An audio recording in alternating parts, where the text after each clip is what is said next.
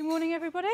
I do appreciate that I'm the only thing standing between you guys and lunch, and it does look very exciting. There's a good range going there, so I'll be prompt. Um, so, I'm Ljubica Lazarevic. I work at Neo4j as a, one of the field engineers, and I'm going to give you quite a high-level overview of what is a graph database, more specifically a property graph database. So, quick overview of the agenda. I'm going to give you a very brief overview of graph theory, or the origins of graph theory, which then went on to inspire graph databases. I'm going to give you an, an anatomy of what is a property graph database.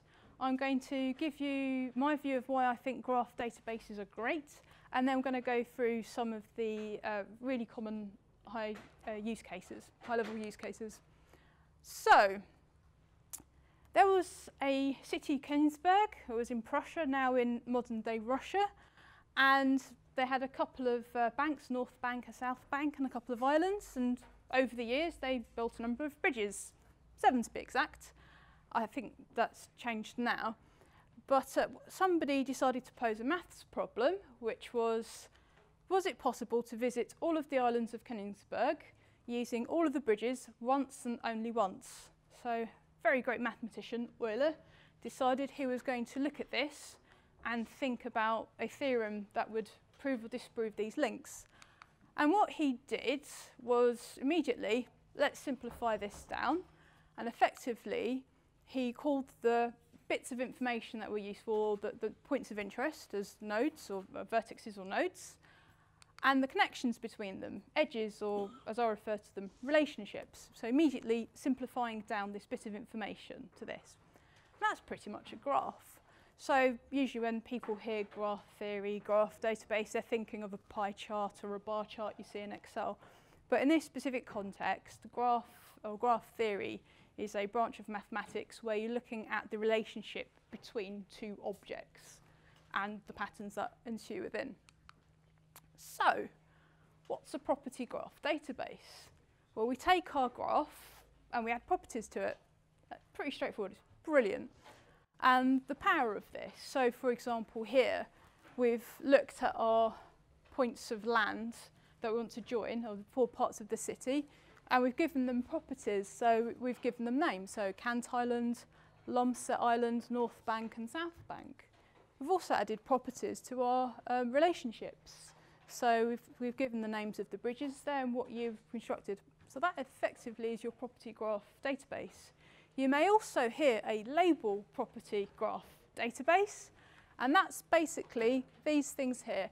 So we've labelled the types of nodes that we're looking at. So we've got a type, node of type island, which are given the label island, and we've got a label type mainland, and then we've got relationship type, which is bridge. So that is the anatomy of the graph property graph database. Fairly straightforward so far. So, why are graph databases great? I'm picking a really simple example. So we have a pair of trainers, and we've got three people here who've bought these trainers, Jane, Alison, and Ian. And you think about your traditional um, where you'd store this data in some kind of a relational database. These could be transaction lines. You could have a customer database, connecting that, and so forth. But there may be something interesting here, and I've got a hunch. I think that these guys have been influenced, or one of these people have been influencing the others to purchase these trainers. So in this example that we're using, I'm going to go off and look at various social media, media sources and look at what these people have been doing. So, Jane has bought a pair of trainers. Uh, she's obviously very pleased about these trainers. She's tweeted about enjoying these trainers. So we're extending this model more and we can have a look. Oh, Alison looks at Jane's tweet and has been inspired by this tweet. She investigates these trainers and she purchases them. She's obviously very happy with her purchase. She's put a post on Facebook. Brilliant trainers. Turns out Ian is friends with Alison on Facebook, reads the post, also buys the trainers, and so on. This is a fantastic thing about graph databases. We can start off with a small model and we can grow it, we can build it, we can add context to it, we can add more information as it comes along. There is a lot of power with this and we're not restricted tightly with the schema. You think about your traditional databases where you, you start thinking about, am I going to extend this in the future or you might append it. You have a good big deal of flexibility with how you work this. So I'm going to bring up some very common use cases for graphs and we're going to talk around them. So fraud detection. So again, another example uh, I've pulled together. We've got three people Joe, Jane, and John. They are recorded as three individuals. They've all got some kind of financial products. So, for example, Joe's got a credit card and a loan. Jane has got a credit card, and John has got a loan. So, a powerful thing with graph databases as well, because the nodes are capturing, capturing an atomic bit of information, and you can define that that, that level of atomicity. What we can do is if there's the same bit of information uh, which is non-duplicated the same, we can link multiple relationships together. So in the context of this, and we start linking together the replicated data, straight away we spot uh, two different people, Jane and John, got the same, share the same address. That's not unusual. They could be married, flat sharing, so forth. But the interesting ones in red is we've got a national insurance number being shared by two different people. That should not be. A national insurance number is unique to an individual. So that's interesting. So we can create a pattern. Graphs are, graph databases are fantastic for patterns. We can create a pattern to have a look and say, if we've got certain unique information being shared across multiple parties, flag it. We need to investigate that. Another one, shared landline phone number. Okay, nothing huge about that. We can have multiple people sharing a, a landline number. But these two individuals live at different addresses. Again, that's flagging up something interesting. That's something we need to investigate and see what's going on. A really powerful thing about graphs is as we grow them and use them, in, especially in the real-time setting with fraud detection, as people are going around and setting up the accounts and potentially like a fraud ring where they're reusing information, we can be looking for patterns. Now, the patterns could be specific to an identifier or a field, but they, we could be looking at, for example, a density of a node. So does, does a node have lots of relationships? Maybe we need to go investigate that. Is there sort of rings or distant rings where certain nodes are being reused? That could be a point for investigation. We can be looking at that real time so that if somebody then tries to take out a financial product or do a transaction, we can stop it and investigate it further to see if there is cause for concern. Next one, 360 degree customer view.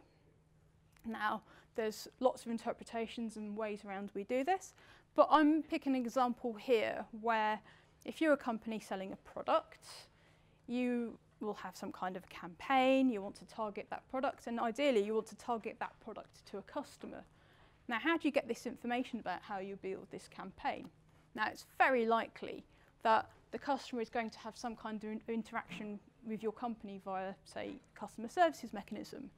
And a lot of companies going digital and having multiple channels. This could be different kinds of interactions, be it social media, be it through email, and so forth. Now, your customer services are going to summarize this information in some sort of way. And this is effectively going to be fed back into the marketing team who can then thereby refine and uh, target better the campaign. Typically, again, depending on the size of your organisation, these could be multiple different systems that you're storing this data. Again, with a graph database, because we're flexible, because we can grow it, we can start creating these connections of the data we're pulling out from our sources and join them together and make a relationship.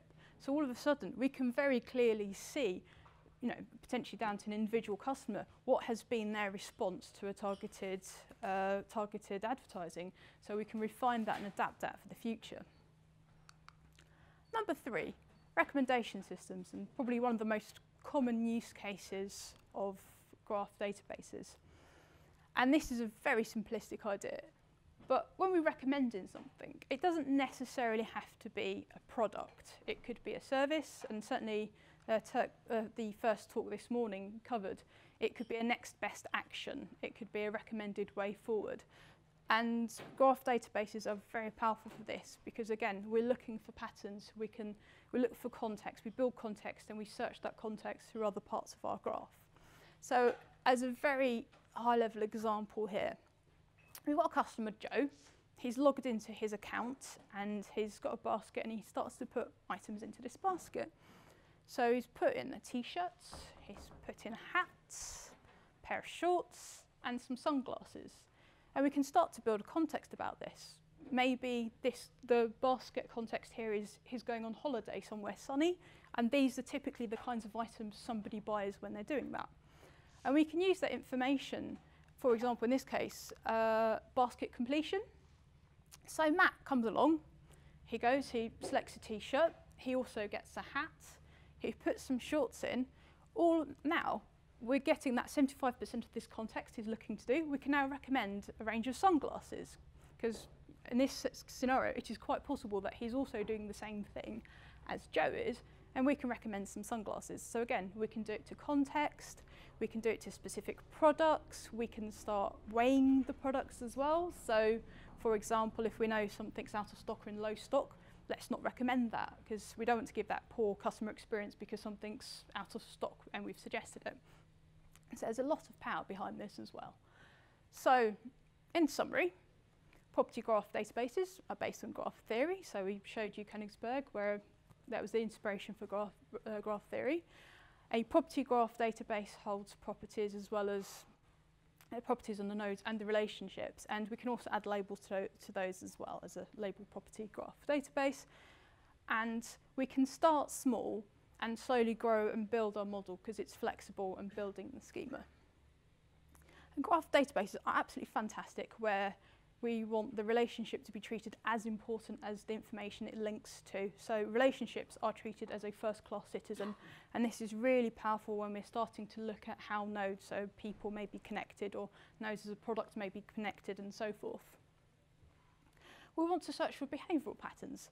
So again, we may have a specific pattern we're looking for, such as context within a, a recommendation engine, or we may be wanting to look for general points of interest. So are there parts of the graph which are highly connected? Maybe we need to go investigate that. So in a social setting, it could be somebody who has a lot of followers and therefore is an influencer.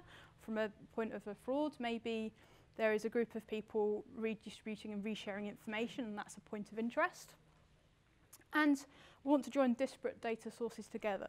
So again, rather than worrying a, huge amount, what's our data model going to look like, how we're going to normalize this data, how do we join it, what is our definition for a property, we can start joining the nodes of information from our different data sources together. And again, we can grow and alter the model as required as we get more information and we have a better understanding of where we want to go this. So that is the end of my talk. So I don't know if we've got time for some questions. So if there's any questions, oh, sorry, please.